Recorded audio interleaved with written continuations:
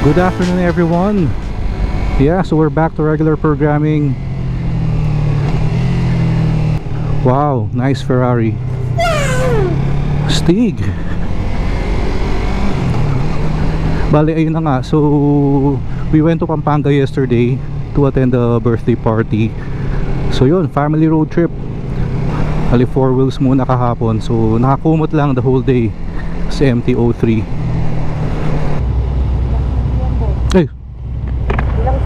300 po. 300 Thank you sir.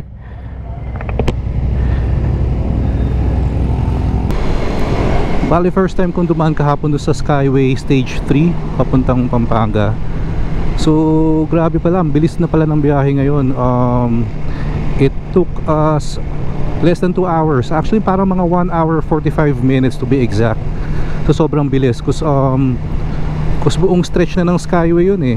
And then pagbaba mo ng Skyway na stage 3 Balintawak na kagad and entrance na sa NLEX Then from there around 40-45 minutes San Fernando exit na.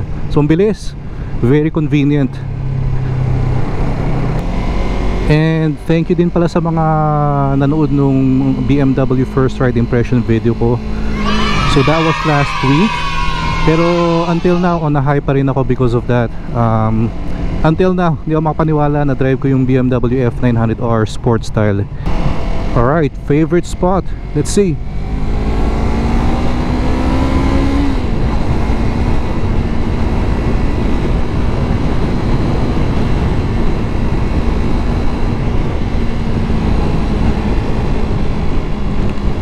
Wala madaming kotse So ang dami ko nang nasabi. Hindi ko pa pala naikwento sa inyo guys kung anong agenda natin for today. Sorry sorry. Um, So we're going to Royal Alloy in Motor Ace Daang Hari. So they're a motorcycle brand that carries uh, mga modern classic scooters. So when I first saw it parang ano eh, medyo hawig sa Vespa.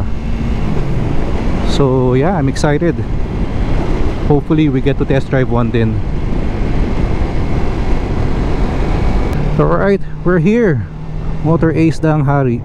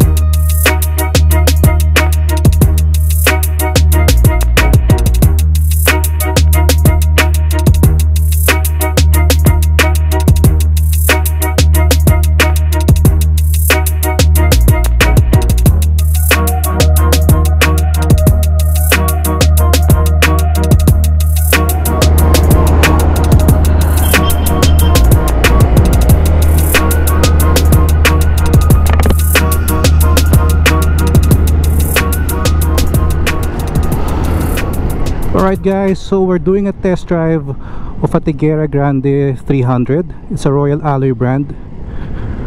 Okay, so far so good. Oh by the way, it's my first time driving a scooter So I have no expectations so far but let's see.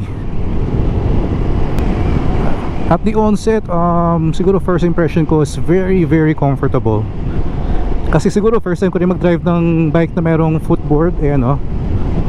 So it's very relaxed Talagang chill. Chill yung position mo. Pang chill ride to.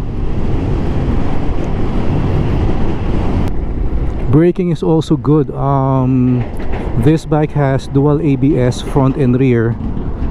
So talagang ano alam mong there's that security feature din if you need it. So in a way ano siya confidence inspiring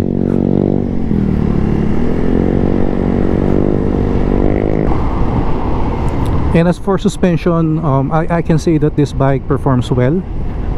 Um, this has uh, dual suspension in both uh, front and rear. This bike has a 278cc displacement on paper. So in terms of power and torque hindi ka bibitinin ito ayan o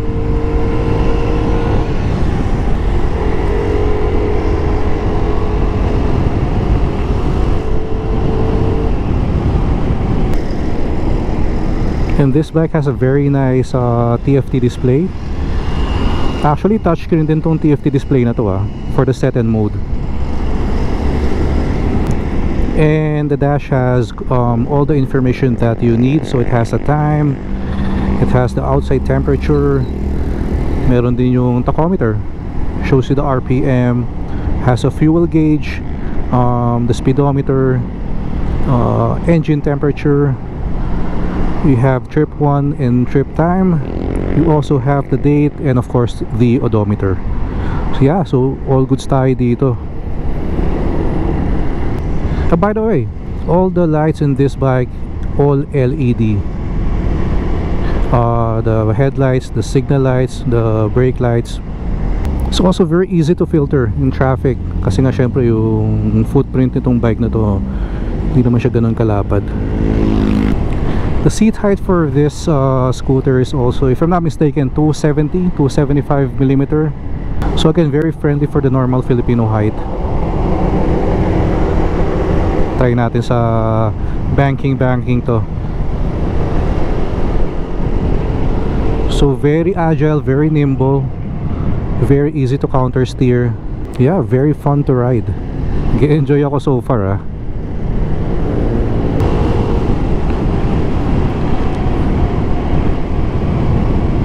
let's try pala the horn. So medyo cute lang yung busina.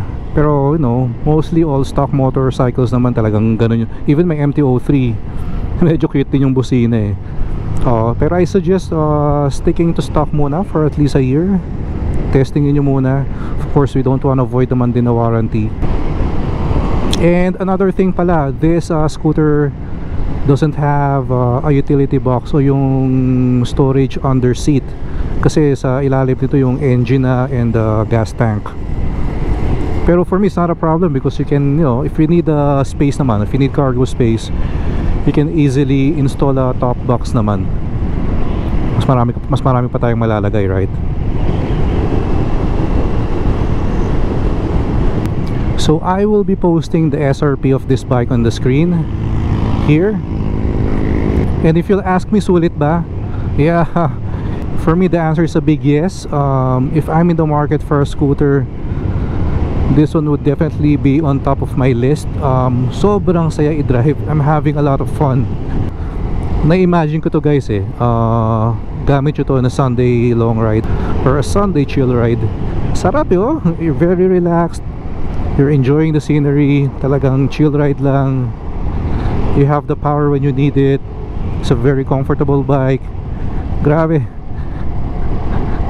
Sobrang saya ng ride nyo nun.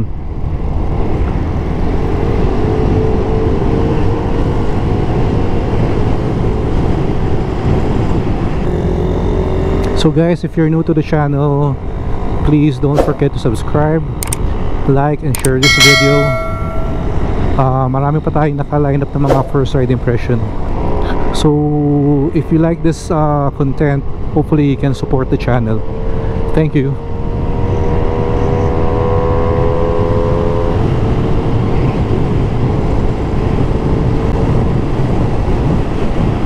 Oh, forgot to mention pala, this bike has an 11 liter tank capacity. So again, like I, what I mentioned earlier, if you want to bring this to to Sunday long rides, chill ride, pwedeng pwede.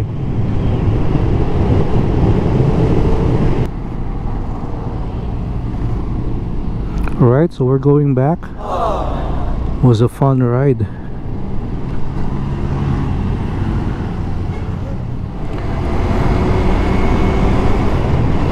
Alright, um, big thanks again to Royal Alloy uh, Motor Ace Danghari. And of course, a uh, special shout out to the manager, Mr. Bingo Alegado. Sir, maraming maraming salamat for lending me the bike to do a first impression ride. It was a solid, solid, fun experience. Alright guys, magkape muna tayo.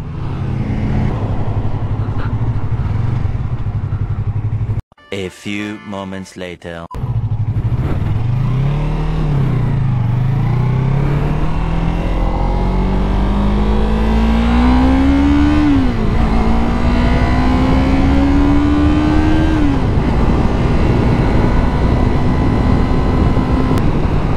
Just can't help but feel very grateful. Um, last week I was able to test drive uh, an F900R Style Sport which is my dream bike. And today uh, I just test drove uh, a Tigara Grande 300 a Royal Alloy. So um, when I started riding a motorcycle again it wasn't part of my plan to do moto vlogs just just happened right? Um, pero you know I just wanted to share this journey although at the start pa lang naman. Pero initially syempre uh, when I wanted to parang when I felt or when I decided na I wanted to try moto vlogging andun din naman yung hesitation eh. I'm very new when it comes to motorcycle riding. Um, to be honest I have zero experience editing din. As in seryoso zero um, the first time I tried editing was yung first upload ko o yung sa Bike Fest. Um, gamit ko na smartphone nga lang eh. And you know talagang super basic editing yon pero you know as I progressed the more videos I upload napapansin ko yun. Every every edit may may natututunan ka ina-apply mo sa next video nag improve ka gradually. So yun lang siguro yung gusto kong i-impart sa inyo na if there is someone there na gusto mag motovlog pero don't know how to start ang mapapayo ko lang just start. Just go just do it sabi nga ni Nike right? Um, it doesn't matter what gear you have smartphone you have an old GoPro or any action camera just start you don't know how to edit. Just start di ba? Madali namang mag-google ng mga basic how to pero ang importante talaga is to, uh, to be able to start. Because once you start dun lang tayo makakapag-improve eh right?